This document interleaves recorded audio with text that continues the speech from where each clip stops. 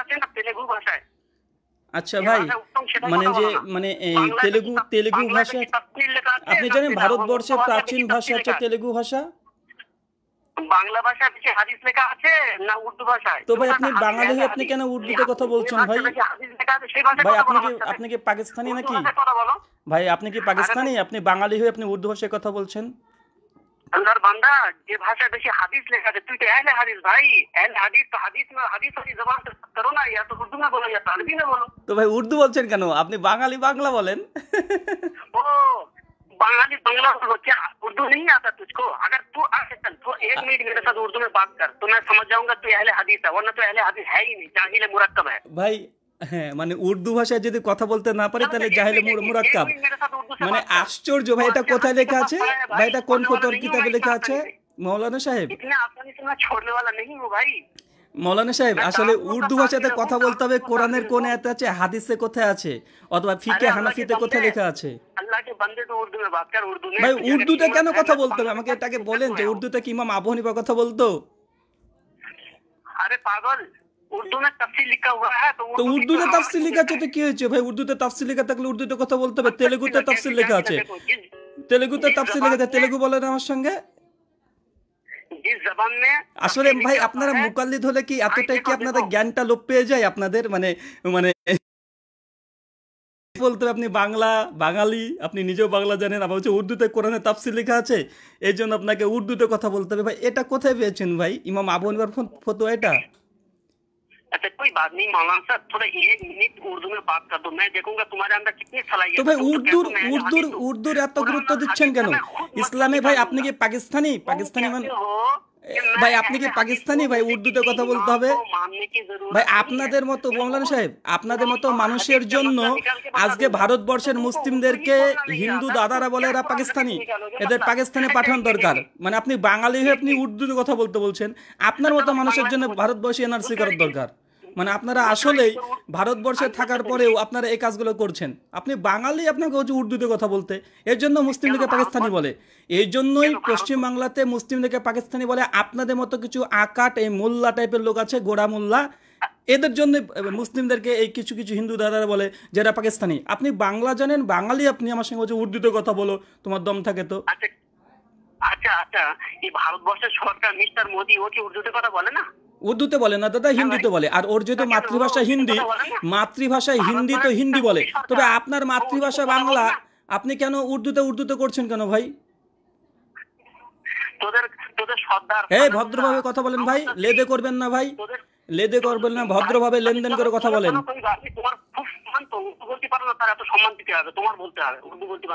লেনদেন মানে উর্দুতে কথা আশ্চর্য আশ্চর্য মানে উর্দুতে কথা বলতে না পারলে কি করতে হবে?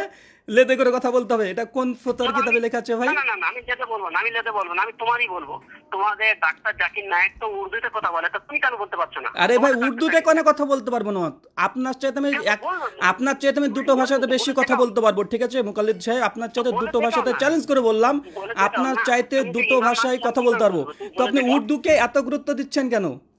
আপনি বাঙালিতে আপনি পশ্চিম বাংলা আছেন বাংলাতে আপনি কথা বলছেন আপনি কি আপনার মায়ের সঙ্গে আপনার বইয়ের সঙ্গে উর্দুতে কথা বলেন? আমি এই জন্য উর্দুকে প্রাধান্য আপনার মাকে কি আপনি আপনার মায়ের সঙ্গে আপনার বাপের সঙ্গে আপনার বইয়ের সঙ্গে কি আপনি উর্দুতে কথা বলেন? अवश्य अवश्य बोली। ठीक है मेरे पास मेरे भाई बैठा हुआ। अरे भाई कैसे हो भाई? अरे बीबी कैसे हो? अरे बहन कैसे हो भाई? सब क्या है क्या हाल चाल है? सबके साथ मैं उर्दू बोलता हूँ।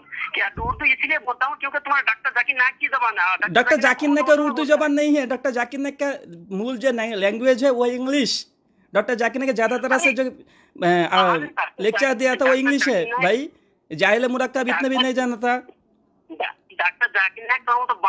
ডক্টর ডক্টর জাকির আরে ভাই ওর তো ইংলিশ ভাষা ওর তো ইংরেজি ভাষা। ওর দু হাজার বক্তৃতার মধ্যে প্রায় উনিশশো ওর ইংরেজি মানে ইংরেজিতে আছে। উর্দুতে তো মাত্র কয়েকটা বক্তৃতা দিয়েছে রে ভাই। ডক্টর যদি ইংরেজিতে ইংরেজিতে কথা বলে। ডক্টর জাকির তাহলে আমার সঙ্গে ইংলিশে কথা বল ভাই। আমার সঙ্গে ইংলিশে কথা বলো ভাই। তুমি যদি ডক্টর জাকির নায়কের আমি ভাই ডক্টর জাকির ছাত্র না প্রথমে বলি। ডক্টর জাকির নায়ক ছাত্র না। আর ডক্টর জাকির নায়কের ছাত্র। হলে ভাই তাকে উর্দুতে বা ইংলিশে কথা বলতে হবে। ভাই এরকম জাহেল পুনামু মূর্খাত্তা পুনামু কথা কোথায় পেয়েছিস ভাই আপনারা? তাহলে তাহলে তুমি কার ভাই আপনারা কি জাহেলে মুতলাক না জাহেলে মুরাক্কাব ভাই? ভাই এই শর্ত কোথায় পেয়েছেন? ডক্টর জাকির নায়কের যদি ছাত্র হয় তো কোনো বাঙালি ডক্টর জাকির নায়কের ছাত্র হতে পারে না? বা ডক্টর জাকির নায়কের ছাত্র হলো কি? তুমি ডাক্তার জাকির নায়কের ছাত্র না তোমার আসল কি? তুমি কার ছাত্র? তুমি কার কাছ থেকে পড়েছো? তুমি ইলম হাসিল কার কাছ থেকে করেছ বলো তুমি। ভাই আমি হোয়াটসঅ্যাপ থেকে পড়েছি ভাই তোমার সমস্যা কি? আমি হোয়াটসঅ্যাপ থেকে পড়েছি তোমার সমস্যা কি? হোয়াটসঅ্যাপ ইউনিভার্সিটি থেকে পড়েছি ভাই ফেসবুক ইউনিভার্সিটি থেকে। তোমার কোনো সমস্যা আছে ভাই? তুমি আমাকে জিজ্ঞাসা করে আমি এক্ষুনি বলে দেবো। আমি দারুণ দেবনের ছাত্র আমি মুফতি সাহিদ সাহেবের কাছে পড়েছি আমি বলে দেবো তো কি হয়েছে ভাই? তুমি তো কি হয়েছে ভাই? মুক্তি অপরাধ দারুল যেটা পড়েছে বলে তুমি একদম মহারথী কিনে ফেলেছো নাকি? আরে ভাই যারা বেরলবি থেকে পড়ছে যারা তুমি বেরলবি থেকে পড়ছে তো কি হচ্ছে ভাই? দেবন্দি পড়তে পারে বেরলবি পড়তে তুমি পড়ে কি তুমি মূর্খ হয়েছো। তুমি পড়ে পড়ে একটা জ্ঞান পাপি মূর্খ হয়েছো। তুমি এখনও ভদ্রতা শিখতে অসুবিধা ভাই। আমি কোনো অসুবিধা নেই। আমি বলছি যে ভাই তুমি তোমার ডিগ্রি দেখাচ্ছ ভাই ডিগ্রি ধুয়ে পানি খাবে ভাই। ভাই ডিগ্রি ধুয়ে পানি খাবে। ডিগ্রি দেখে তুমি কি বোঝাচ্ছ ভাই? তুমি কি চোর নাকি? তোমার আসল ঠিকানা দিচ্ছ না? আমি তোমার আসল ঠিকানা দিচ্ছি। তুমি দিচ্ছ না কেন? আরে ভাই তোমাদের মতো অনেকগুলো কুকুররা আমাদের পেছনে ঘেউ ঘেউ করে তো? সব কুকুরকে আমরা ঠিকানা দিই না সব কুকুরকে খেতেও আমরা দিই না। আরে ভাই তোমার ভাই তোমাদের তোমাদের কথা শুনে মনে হচ্ছে তোমরা জঙ্গি সন্ত্রাসী তোমরা পশ্চিম বাংলার মানুষের তুমি উর্দুতে কথা বলছো উর্দুর গুরুত্ব দিচ্ছ। তোমাকে দেখে মনে হচ্ছে তুমি জঙ্গি সন্ত্রাসী শিখেছো দারুল দেবন থেকে। কি আবার তুমি পরশু দিন বলেছ তুমি হিন্দুদের হিন্দুদের কেন লেদে করে কথা বলো?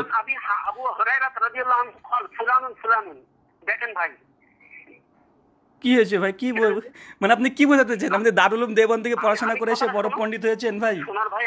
ভাই দারুলুম দেবন তো ইংরেজদের জামানায় পয়দা হয় একটা ফিরকা। এই দেওবন্দি এটা হচ্ছে ইংরেজদের জামানায় তৈরি হয় একটা দল। যার পারে ফিরকা হোক আল্লাহর বান্দা তুই তো আমার কাছে এখন ফেসে যাচ্ছি আমার কথাটা শুনি তো হাদিসের মধ্যে ভাই আপনার সঙ্গে সত্যি আমি ফেসে যাচ্ছি ভাই আপনার সঙ্গে ফেসে যাচ্ছি ভাই। হযরত আলী বিন আবি তালেব রাদিয়াল্লাহু তাআলা বলেছে যে তোমরা মূর্খদের সঙ্গে তর্ক করবে না। কেন মূর্খদের সঙ্গে তর্ক করলে মূর্খদের পর্যায়ে তাকে নিয়ে যাবে। হাদিসের মধ্যে ও সনদ বলা হয়েছে যাতে করে নকল হাদিস না আসে। তো সব জায়গায় আসল কথা বলা হয়েছে ঠিকানা দেওয়া হয়েছে। তুই ঠিকানার যে ভয় করছি কেন? ভাই ভাই? ভাই আমরা এইসব আমরা এইসব জঙ্গি টঙ্গিদেরকে জঙ্গি টঙ্গি টাইপের লোকদেরকে আমরা দিই না ঠিকানা ইমাম বুখারি হাদিসের রহমউল্লাহর কাছে ইমাম বুখারি রহমউল্লাহর কাছে ভাই তুমি হাদিস পড়েছো তুমি ঘটনা জানো ইমাম বুখারি রহমউল্লাহর কাছে সরকারের তরফ থেকে এসেছিল যে আমার ছেলেকে পড়াতে হবে। ইমাম বুখারি বলেছে ইলমের কাছে আসো ইলম ওখানে যাবে না। তবে তাকেও ঠিকানা দেয়নি। তো কি হয়েছে রে ভাই, ফাতুল বাড়ির মুকাদ্দামাটা একটু পড়ে নিও ইমাম বুখারি। হাদিসের মধ্যে ঠিকানা দেওয়া হয়েছে সনদ দেওয়া হয়েছে। ভাই সনদ দিতে ভাই অত দূর তুমি যাচ্ছ কেন? ভাই আমি তোমাকে রেফারেন্স দিচ্ছি। আমির সেই মুসলিম মুকাদ্দামা আট পৃষ্ঠা আব্দুল ইবনুল মুবারক রহিমাউল্লাহ বলেছেন ইসনাদু মিনাদ্দিন সনদ হচ্ছে দিনের অন্তর্ভুক্ত। তুমি ভাই তো মাদ্রাসায় পড়ে তো এই হাদিসটাও তো এই কলটাও আখওয়ালটা সালাব দিয়ে শুনতে পাওনি ভাই পড়তে পারোনি তুমি নিজের যুক্তি খাটাচ্ছ ওটা তো তোমার তো ভাই তুমি দরকার। মাদ্রাসায় পড়ে এই অন্তত অন্তত এই দলিলটা দেওয়ার দরকার ছিল যে সেই মুসলিমের মুকাদ্দামাতে আছে ইসনাদু মিনাদ্দিন এই এই হাদিসটা জিন্দগিতে পড়নি ভাই নাকি? ইমাম মুসলিম যখন বলছে যে তুমি তোমার দিনকে বল কেন তোমার দিনকে বলছো না। তোমার দিন কি বলো? তোমার দিন কি? আমার দিন কি মানে? তোমার দিন কি বলো? ভাই তোমার দিন কি বলো বলো? তোমার দিন কি? মানে আপনি কি মানে মাদ্রাসায় পড়ে শুধু মান্তিক পড়েছেন? মানে কোরআন হাদিস কিছু পড়েননি মান্তিক পড়ে পড়ে এইসব এই অবস্থা? মানে মান্তিক ছাড়াই। তোমাদেরকে মাদ্রাসায় দারুল দেবন্দের কলম করে ভাই। আমরা জানি গোটা উপমহাদেশের মধ্যে দারুল উলুম দেওবন্দ একটা ভালো শিক্ষণীয় ইলমি একটা মার্কাজ। কিন্তু তোমার মতো গরু ছাগল যে এই মাদ্রাসা থেকে বের হয় এটা ভাই আমি আজকে খুব আশ্চর্য হলাম। সবাই দেখো।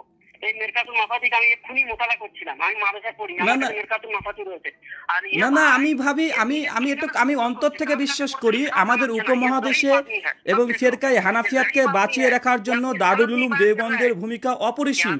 কিন্তু তোমার মতো গরু ছাগলটা দারুলুম উলুম থেকে বের বের হয়ে এসেছে। এটা আমার ভাবতে কষ্ট লাগছে ভাই।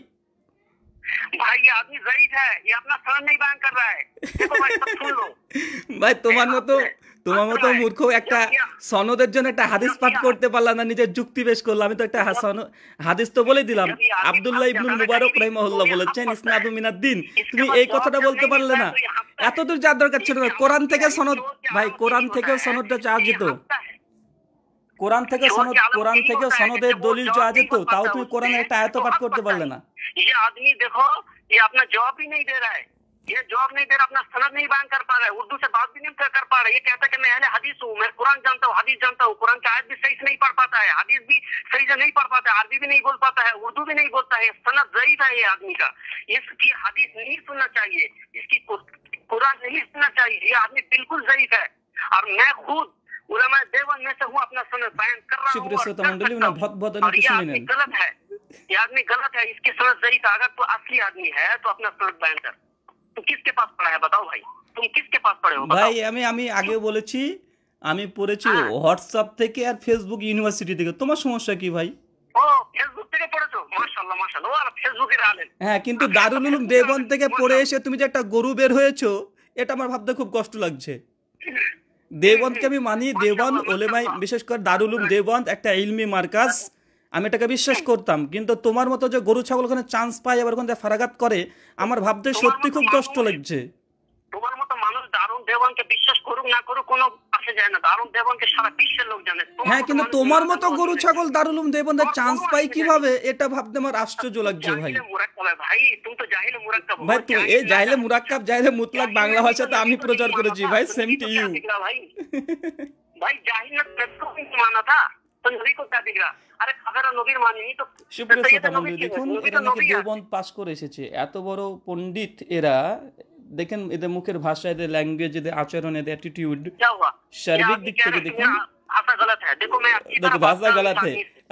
বাংলাতে ভাই তুই উর্দু কেন বলছিস? তুই পাকিস্তানি?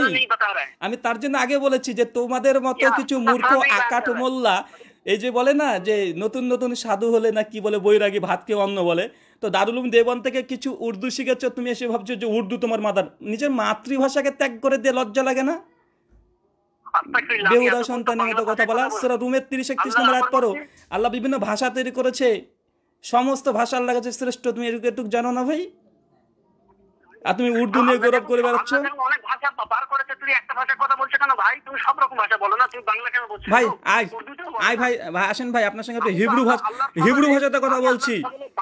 ভাই আমি একটা হিব্রু বলছি একটা হিব্রু ভাষা বলেন তো। হিক্কম আমতাকিম ওখুল্ল মোহাম্মদিম জেহদুদি ও জেহরাই বেনত এরুসালিম ভাই বলুন তো কি বললাম? আমি আমি একটা কি একটা ভাষা বললাম। এটা আমি বলে দিলাম কোন ভাষা হিব্রু ভাষা বলছি। ঠিক আছে? ভাই হিব্রু ভাষা তোরা যে ভাষায় নাজিল হয়েছিল হিব্রু ভাষা। ভাই তওরাত জাবুর ইঞ্জিল হিব্রু ভাষাতে অবতীর্ণ হয়েছে তওরাত জাবুর ইঞ্জিল আমি হিব্রু বললাম একটি হিব্রু অনুবাদ করে দেন তো। হিক্ষম আম তাকিম ও কুল্লু মুহাম্মাদিন জেহদুদি ও জেহরাই বেনাতের সালিম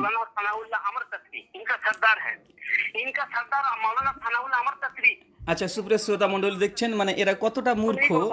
এটা ক- এরা যে এরা যে দেবন মাদ্রাসা থেকে ফারাগাত করে কিভাবে আর এই মূর্খগুলো মানে আমি একটা জিনিস ভাবি সবসময় যে আসলে মানে মুকাল্লিদ হলে কি এরকম নিরেট মূর্খ হতে হয় মানে মুকাল্লিদ হলেই কি নিরেট মূর্খ হতে হবে একটু মানবিকতা বোধ এদের ভেতরে থাকে না أما بعد أعوذ بالله من الشيطان الرجيم بسم الله الرحمن الرحيم وقل جاء الحق وزهق الباطل যখন দুনিয়াতে ফেরাউন আসবে তো মুসার লাঠিও আছে ফেরাউন ও ওয়াকুল জা আল হাক্কু এটা অর্থ যখন কোরআন মানে যখন দুনিয়াতে আসবে তখন ফেরাউন মানে ফেরাউন থাকলে আসবে।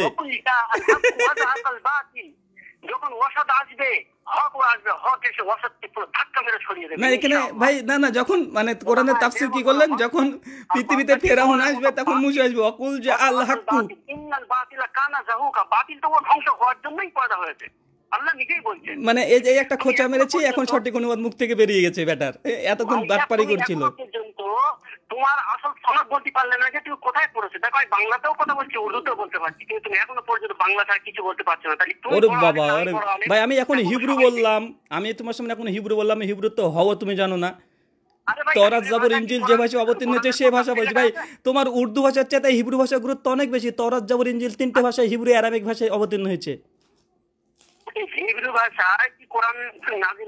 ভাই তোর উর্দু ভাষাতে কি? কোরআন অবতীর্ণ হয়েছে না হাদিস অবতীর্ণ হয়েছে না ইমাম আবন বা উর্দু ভাষায় কথা বলতো? কোরআন ইমাম আবু হানিফা হচ্ছে কি আমাদের সারের মুকুট ওনার নামে উল্টো পাল্টা কথা আবার কি বললাম যে উল্টো পাল্টা রে ভাই।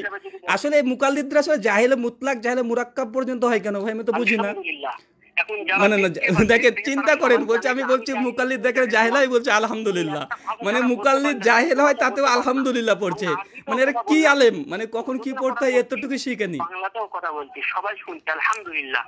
বেশি জ্ঞানী সব বলা যাচ্ছে। ওর বাবা ভাই ভাই তুই বিশাল জ্ঞানী ভাই ভাই আপনি বিশাল জ্ঞানী আপনি ফার্স্ট আপনাকে পুরস্কার ফার্স্ট অবশ্যই। সুপ্রিয় শ্রোতা মন্ডলী যে লাস্টে দেখছেন তেতাল্লিশ দুইশো পনেরো ইনি ফার্স্ট উনি বিশাল জ্ঞানী। ভাই যে নিজেকে জ্ঞানী দাবি করে যে নিজেকে নিজেকে জ্ঞানী বলে সে মহা মূর্খ ছাড়া কিছু না। যে নিজেকে জ্ঞানী দাবি করে সে মহামূর্খ ছাড়া কিছু না।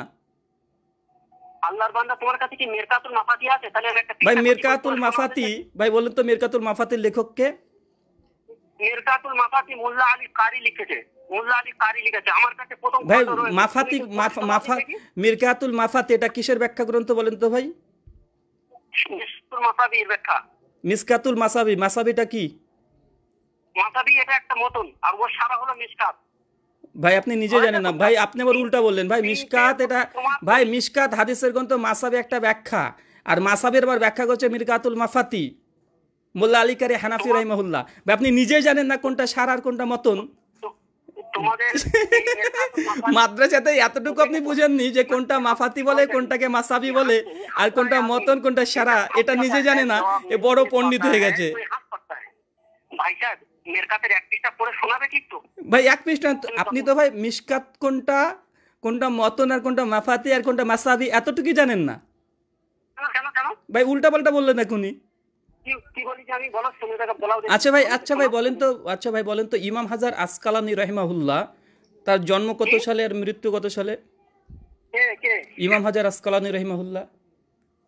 আরে ভাই আমি তোমার তিনটে প্রশ্ন করে তুমি আমার তিনটে উত্তর দিচ্ছি।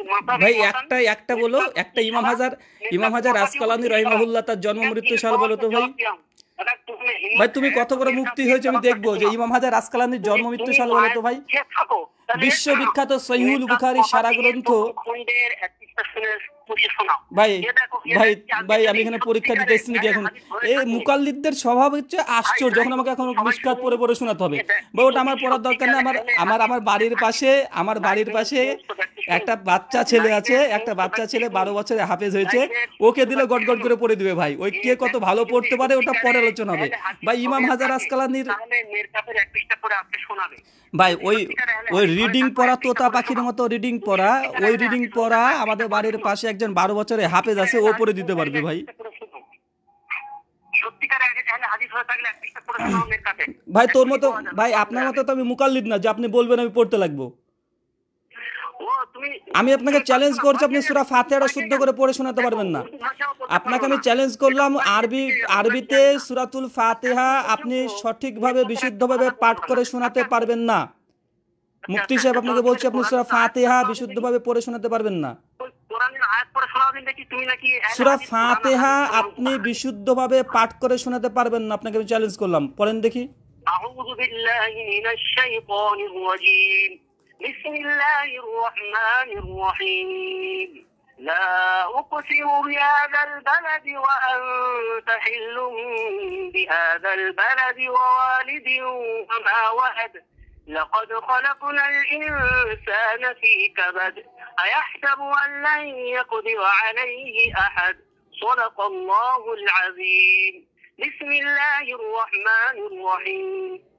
والشمس وضحاها والقمر إذا تلاها والنهار إذا جلاها والليل إذا يغشاها والسماء وما بناها والأرض وما طحاها ونفس وما سواها فألهمها فجورها وتقواها.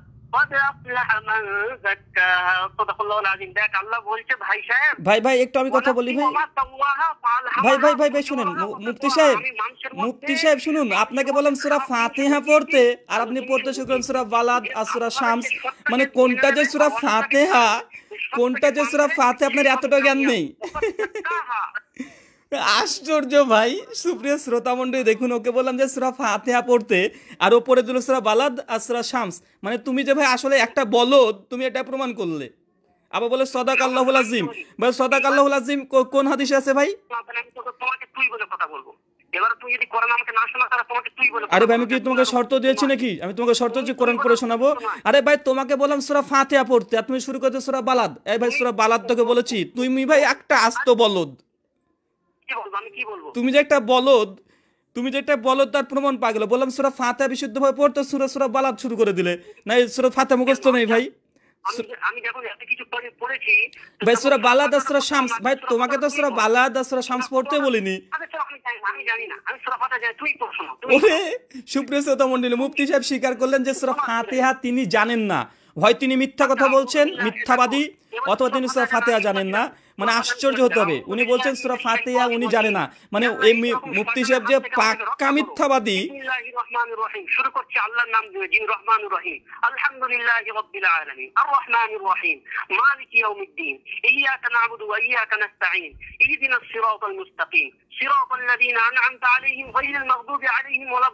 আমিন বলব আমিন জোরে বলব না আস্তে বলব তুই বলে বল বল, আমি তো বলেছি? বিশুদ্ধভাবে কিরাত করা সম্ভব না আবার আমাকে জিজ্ঞাসা করছে মানে আমার মুকাল্লিদ আমি জোরে বলতে বলে জোরে বলবে আস্তে বলতে বলে আস্তে বলবে ভাই, জোরে বলেন, ভাই, জোরে বলেন।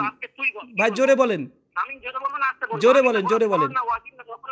ভাই জোরে বলেন আমি কেন নাকি? জোরে ফরজ নাকি? দেখেছেন মুকাল্লিদ সাহেবকে আমি আগে বলেছি যে এই মুকাল্লিদগুলো সুরা ফাতিহা বিশুদ্ধভাবে পড়তে পারবে না। এখন আমিন জোরে বলতে হবে না আসতে বলতে হবে আমার কাছ থেকে জিজ্ঞাসা করছে। আমি না কোন জায়গায় লেখা আছে? আমি মানে জোরে বলতে হবে যাই হোক মুফতি সাহেব অনেকদিন ধরে আসলে আমি তো ফেসবুকে সুপ্রিয় শ্রোতা মণ্ডলী আমি তো আসলে ফোন মোনাজারা এগুলো তো অনেকদিন আগে থেকে বাদ দিয়েছি আপনারা জানেন। তো যাই হোক, এই মুকাল্লিদগুলো দীর্ঘদিন ধরে ফোন করছে আর ডিস্টার্ব করছে, ফোন করছে ডিস্টার্ব করছে। তো অনেকদিন আপনারাও মানে অপেক্ষায় ছিলেন একটা মানে একটু আপনারা একটু আমেজিং একটু নেন, যে মুকাল্লিদগুলো যে এত বড় মূর্খ হয়, এত বড় জাহেল হয় মানে এরা যে মুক্তি ডিগ্রি অর্জন করে কীভাবে, আমি মানে বুঝতেও পারি না। এই জন্য হানাফিদের ফতোয়ার কিতাব নুরুল আনোয়ার একশো চব্বিশ পৃষ্ঠায় লিখেছে পরিষ্কারভাবে যে মুকাল্লিদদের হচ্ছে জাহেল হয়। আর মুকাল্লিদুল আইসাব ইলম, মুকাল্লিদের কোনো ইলম থাকে না। এরা চতুষ্পদ জন্তু নাই। আন্নাম কান আনাম। মুকাল্লিদের হচ্ছে চতুষ্পদ জন্তু নাই। তো এই সব মানুষগুলো এই নাম্বারটা দেখছেন এই এই এই সব মুক্তিদের জন্য মানে সমাজও ধ্বংস হচ্ছে ধর্ম নামে কলঙ্ক হচ্ছে রাষ্ট্র ধ্বংস হচ্ছে এইসব মূর্খদের জন্য। দেখুন অনবরত চিৎকার করছে দেখেন। একটাও হাদিস পড়তে পারলি না একটাও কোরআনের আয়াত পড়তে পারলি না। মুকাল্লিদরা জাহিল হয় গায়ের মুকাল্লিদরা জাহিল আছে সবাই বুঝতে পারছে লাইভে আমিও আছি ইনশাআল্লাহ সবাই হ্যাঁ ভাই ভাই ভাই আপনি লাইভে থাকেন যা ইচ্ছা তাই করেন। যাই সুপ্রিয় শ্রোতা মণ্ডলী, অনেকদিন ধরে আপনার, আপনারাও মানে একটু ফানি, একটু হাসি হাসা মানে এখন তো যদিও বিশ্বনবী মোহাম্মদ সাল্লাহ সাল্লামের প্রসঙ্গে গোটা বিশ্বজগৎ যখন মানে আন্দোলনমুখী, তখন এদের মতো মুক্তি সাহেবরা দেখেন ফোন করে ডিস্টার্ব করছে, বাহাস করবে, মোনাজারা করবে। মানে আশ্চর্য মানে এদের নীতি যে কি, গোটা বিশ্বজগতের মুসলিম জাতি যখন এত মানে এই বিশ্বনবীর মানে ওই অবমাননার কারণে একজোট হচ্ছে, তারা মানে তাদের হৃদয়ে রক্তক্ষরণ হচ্ছে ঠিক এই সময়তে এইসব নামধারী কাঠমোল্লা টাইপের কিছু জাহিল, মুকাল্লিদ মুফতি আছে মুখোশধারী মুফতি আছে। এদের এদের দেখেন এরা ফোন করে এখন বিতর্ক করা শখ জেগেছে। মানে এই যে এখন বলছি না বারো রবি উল আউ্য়াল আসছে মানে এদের একদম গত্র দেওয়া শুরু হয়ে গেছে। মানে আমরা যে বিদাত বিদার্থীদের বলছে এগুলোকে মানে এই ধরনের কিছু ক্যাট মানে ক্যাটাগরির এগুলোর জন্যই মানুষ বলে যে কিছু মোল্লা আছে, এরা যে কাঠমোল্লা। মানে এদেরকে যদি আপনি কাঠমোল্লা বলেন, কোনো খারাপ কিছু বলবেন না। এদের আচরণ প্রথম থেকে আপনাকে দেখালাম মানে প্রচুর পরিমাণে ফোন করে ডিস্টার্ব করছে, এ ধরনের কিছু মানে কাঠমোল্লা টাইপের জাহেলা মুরাক্কাব মুতলাক টাইপের লোকরা। তাই আপনাদের কাছে শেয়ার করলাম, অনেকদিন আমি ফেসবুকে লাইভে আসি না, আর আমি মোটামুটি এই মাঝাবি টাঝাবি বিষয়গুলো নিয়ে বাদই দিয়েছিলাম আলোচনা, আমিও নিয়ত করছিলাম যে এখন এইসব বিষয়ে আলোচনা করব না। এই জন্য দীর্ঘদিন ধরে আমি খ্রিস্টান ধর্ম, হিন্দু ধর্ম এবং নাস্তিকতার বিষয়ে আমি আলোচনা করছিলাম। আপনারা দেখবেন দীর্ঘ ছয় মাস ধরে আমার মাঝাবি টাঝাবি বিষয় নিয়ে কোনো আলোচনা ফেসবুকে নেই। এই যে কিন্তু এইসব উম, লোকগুলো এত বিরক্তিকর মানে এতটাই মূর্খ এদের সঙ্গে ইলমি যদি কোনো আলোচনা করব মনে করি আলোচনা করাটাও সম্ভব না নিজে ভদ ভদ ভদ ভদ ভদ করে জেনারেটারের মতো বকে চলে আছে দেখেন ভদ ভদ করে বকছে এখন मेरे साथ बात करो भाई मैं तुमसे बात करने के लिए तरस रहा हूँ तुम जैसे जाहिल को ठीक करने के लिए मेरा दिल तरस रहा है जिस तरह आप सल्लल्लाहु अलैहि वसल्लम को काफिर को ठीक करने के लिए दिल तरस रहा था मेरा भी दिल तरस रहा है ताकि तू जैसा आदमी ठीक हो जाए দেখেন ভাই, এরা সব জেনারেটারের বাচ্চা মতো ভাই। বকছে মানে কোনো কাজ নেই কোনো কাজ নেই এদের। এদের খেতে কোনো কাজ নেই। গোটা বিশ্বজাতি মুসলিম জাতি মোহাম্মদ ইসলামকে না কটুক্তি করছে এদের। কোনো প্রতিবাদ নেই। এখন আমার সঙ্গে কথা বলার জন্য অদ্দল তারাসুরা হয় এই সব ছাগলগুলো নিয়ে। ভাই তোরা কীভাবে মাদ্রাসায় পাশ করলি ভাই? টুকলি করতি ভাই। মুফতি সাহেব টুকলি করে পাশ করেছেন। আপনাদের মতো লোকরা এই পাঞ্জাবির তলে টুকলি নিয়ে যায় আমরা জানি লিখে লিখে নিয়ে যায়। দিয়ে আপনার মতো কিছু নালাইক কিছু মুক্তি বের হয়ে সমাজে এসে তারা না উপকার করতে পারে এরা মানে ক্ষতি করে দেয় আপনাদের মতো জাহেলগুলো। ঠিক আছে, সুপ্রিয় শ্রোতা মন্ডলী আপনারা এতক্ষণ দেখলেন, আমরা যাই হোক, ওর নাম্বারটাকে এখন কেটে দিয়ে আমরা ব্ল্যাক লিস্ট করে দেবো। কারণ এইসব জাহেলদের সঙ্গে কথা বলে কোনো লাভ নেই, না ইলমি আলোচনা করবে জেনেটারের মতো বকবে। আরেকবার জেনেটারের আওয়াজটা শুনে আপনারাও বিদায় নেবেন, আমিও বিদায় নেব। শুনুন জেনেটারের আওয়াজ। ভাই ও ভাই, কি হয়েছে? তুমি অনুজয়ের সাথে কথা বলছো কেন ভাই? তুমি ভয় পেয়ে গেছো? ভাই ভাই, ভাই? তোমাকে আমি সত্যি খুব ভয় পেয়েছি সুরা ফুরকানের তেষট্টি নম্বর আয়তে আমি আমল করতে চলেছে এই মুহূর্তে আল্লাহ আল্লাহ বলেছে যে মূর্খদের সঙ্গে কোনো কথা নেই কি আছে সালাম আছে আসসালামু আলাইকুম ওরহমতুল্লাহি ওয়া বারাকাতুহু কোরআনের উপরে আমল করলাম হ্যাঁ ব্ল্যাক লিস্টে করে দিলাম জি মানে এরা যে এত পরিমাণে যে বিরক্তি মানে বিরক্ত করে আশ্চর্য হয়ে যাবেন। তার জন্য অনেকদিন পর একটা লাইভ দিলাম। আমিও চাই না এগুলো হোক। তারপর আবার কিছু আবার মানুষ আছে, কিছু ঐক্যর পার্টি আছে, তারা আবার উঠে বলবে যে বেড়ে তারা ফিতনা করছে। ভাই, আমার জায়গাতে আপনি থাকলে আপনি বুঝতে পারতেন।